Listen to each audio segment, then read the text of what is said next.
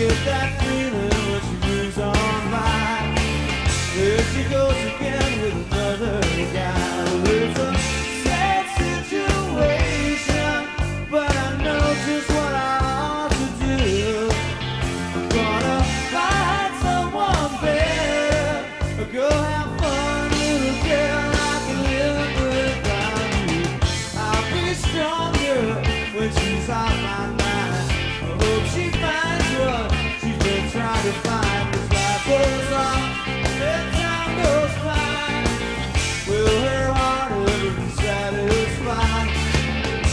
she goes again with another guy.